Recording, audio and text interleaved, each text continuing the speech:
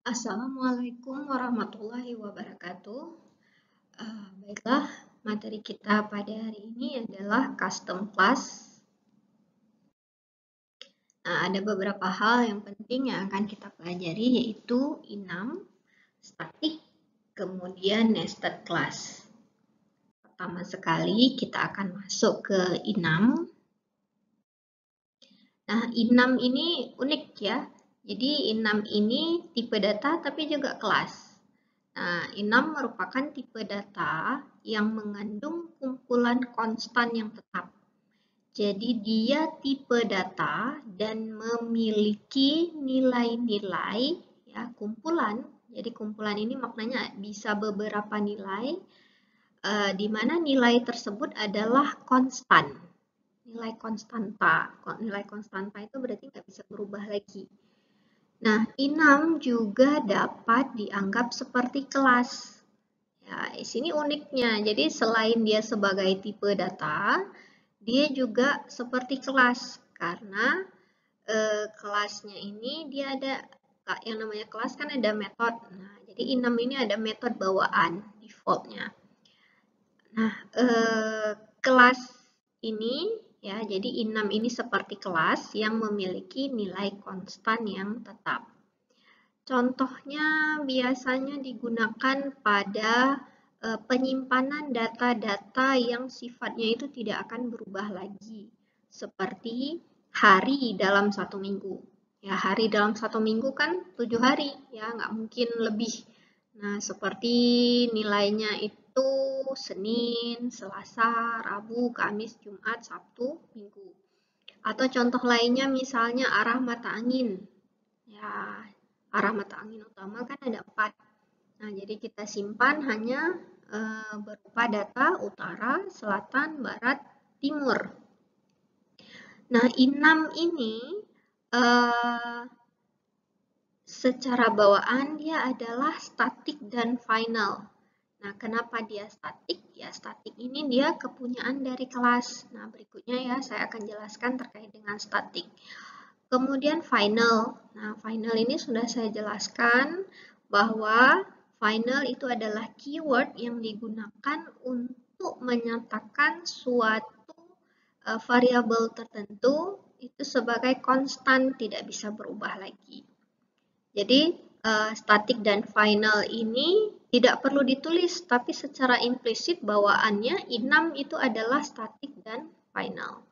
Nah, enum ini mulai diperkenal, diperkenalkan sejak Java versi ke-5. Nah, apa yang penting perlu diingat pada inam ya. Jadi inam ini banyak kegunaan ya, kegunaan kelebihannya yang pertama sekali dia dapat memperbaiki type safety. Nah, mungkin bisa kita udah lihat pada banyak kode program sebelumnya bahwa Java ini sifatnya sangat tipe data oriented. Jadi memang setiap data itu harus ada tipe datanya. Nah, jadi dengan menggunakan enum ya, eh, tipe datanya itu sudah langsung kita gunakan enumnya. Jadi kita nggak peduli lagi apakah data yang disimpan itu adalah string, apakah data yang disimpan adalah integer, itu udah nggak masalah lagi. Ya, jadi eh, enum ini bisa memperbaiki type safety. Nah, enum juga dapat digunakan pada switch. Karena enum tadi menyimpan kumpulan data, data-data yang kita kumpulkan tadi itu bisa kita gunakan pada switch case. Dan e, karena data tadi itu berupa kumpulan, nah setiap data tadi itu bisa kita jejaki, kita akses satu demi satu. Nah, makna akses satu demi satu itu bermakna traverse ya. Traverse ini kita jejaki atau kita akses datanya satu demi satu. Dan enum ini dapat memiliki field, konstruktor, dan metode. Jadi selain yang bawaan, ya juga kita bisa buat yang baru. Enum tidak bisa extend dari kelas yang lain karena secara bawaan enum ini adalah sub kelas dari kelas 6. Ya, mungkin masih di, bisa diingat sebelumnya pada materi inheritance, Java ini adalah single inheritance. Jadi hanya hanya boleh punya satu induk saja. Nah, karena e, kalau kita buat inam lagi, maka inam tersebut kita nggak bisa buat e, subkelas dari kelas yang lain. E, maksudnya seperti ini. Misalnya ada kita buat inam e, hari, ya. Jadi inam hari ini kita tidak bisa uh, buat dia subkelas dari uh, inam minggu misalnya. Itu tidak bisa. Kenapa? Karena inam itu secara default merupakan turunan dari kelas inam. Ya, jadi memang uh, setiap kita buat tipe data inam, maka secara bawaan dia adalah subkelas daripada kelas inam. Nah, Inam dapat mengimplement banyak interface. Jadi silahkan saja gunakan interface yang kita perlukan. Misalnya sering digunakan itu untuk interface comparable ya untuk membandingkan nilai. Kemudian ada interface uh, apa lagi ya? Banyaklah interface yang lain. Nah, jadi maknanya Inam ini seperti kelas biasa bisa mengimplement banyak interface. Contoh Nah, contoh penggunaan inam seperti ini. Kelas inam example, kemudian di dalamnya kita buat public inam season. Jadi nama variabel inamnya adalah season. Datanya apa? Datanya di sini ada winter, spring, summer, dan fall. Ya. Kemudian di sini ada method main, ya, method main. Nah, di sini uh, isi daripada metode main hanya menjejaki saja atau traverse data yang ada di dalam inam. Nah, cara kita menjejaki data ya bisa pakai uh, look for each yang mudah ya. Caranya for uh, season S. Nah, kenapa season S? Karena kan tadi tipe datanya adalah season. Jadi S itu adalah variabel sementara dapat kita simpan setiap data yang kita baca di dalam season. Titik dua, season.values. Jadi uh, di dalam inam itu sudah ada bawaan metode uh, values. Nah, metode values ini dia akan mengembalikan nilai yang ada di dalam inam satu persatu. Ya, dot values. Jadi season values itu semua nilai yang ada di dalam inam. Nah, di sini kan kita lihat nih season isinya ada winter, spring, summer, dan fall. Maka semua data ini itu akan dikembalikan oleh metode values. Kemudian dicetak. Maka nanti yang akan tercetak ya lebih kurang winter. Kemudian ini ln ya, berarti di bawahnya spring. Kemudian ada summer kemudian ada fall.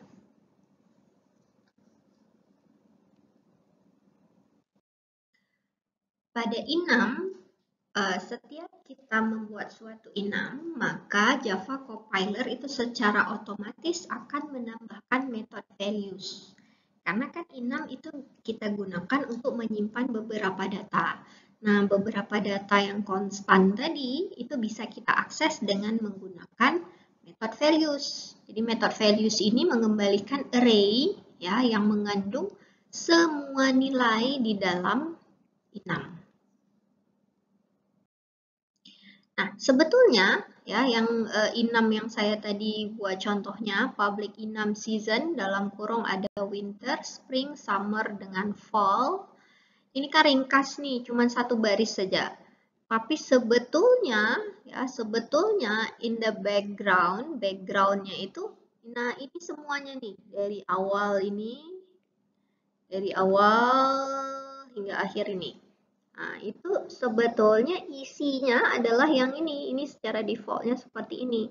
Jadi kalau kita buat public enum season, nah secara otomatis kita membuat suatu eh, kelas subkelas namanya subkelas inam example uh, satu uh, tanda dolar season extend inam nah ini kan kata-kata extend Nah, jadi kenapa inam itu kita nggak bisa buat kelas dari kelas yang lain? Karena memang secara default setiap inam kita ciptakan, setiap inam kita gunakan, maka inam tersebut adalah turunan daripada kelas inam. Nah, kemudian private inam example. Jadi ini adalah metode konstruktornya. Ya, ya di sini di sini adalah metode konstruktornya itu private. Nah, di sini digunakan uh, metode uh, values ya metode values ini uh, berguna untuk mengembalikan semua nilai yang kita simpan di dalam inam. Seperti ini, inam season, nilai yang kita simpan adalah winter, spring, summer, dan fall. Maka jika kita gunakan metode values, maka nilai inilah yang akan dikembalikan berupa array. Kemudian ada public static enum example value of.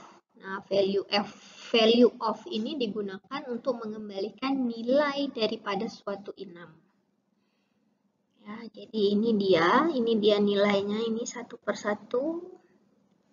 Nah, kemudian di sini ada static dan seterusnya. Nah, ini berarti dia akan memberi nilai bahwa winter itu nanti nilai uh, untuk mengaksesnya itu adalah 0, spring itu 1, summer 2, fall 3, seperti itu. ya. Jadi ini default, jadi yang bagian ini sebetulnya nggak perlu kalian telusuri lebih lanjut, nah kecuali ingin menambahkan metode-metode tambahan yang lainnya, ya, tapi uh, Cara membuat inam hanya sederhana saja, hanya satu baris ini saja. Inam selain kita tuliskan di dalam kelas, juga bisa kita tuliskan di luar kelas. Karena inam ini kan sebetulnya subkelas daripada kelas inam. Ya. Jadi memang penggunaannya mirip seperti kelas juga. Nah, eh, contohnya di sini inam season itu kita tulis di luar daripada kelas inam example 2. Kemudian kelas inam example 2 ini ada metode main yang berisi uh, season S sama dengan season.winter, kemudian dicetak nilai daripada S-nya, maka nanti akan tercetak nilai daripada S-nya itu adalah winter. Nah, jadi kan tadi uh, season.winter. Nah, jadi nilai nilainya ya adalah winter. Nah, aturan inam yang lainnya, uh, inam ini memiliki private constructor. Jadi, karena dia private, ya bisa nggak kita menciptakan objek inam ini dengan menggunakan keyword new? Ya, bisa atau tidak? Ya, jadi private yang makna private berarti hanya bisa diakses di dalam kelas itu saja, tidak bisa diakses di luar. Nah, karena tidak bisa diakses di luar daripada kelas, ya jadi uh, kelas inam ini tidak bisa kita ciptakan di luar daripada kelas inam tersebut. Ya.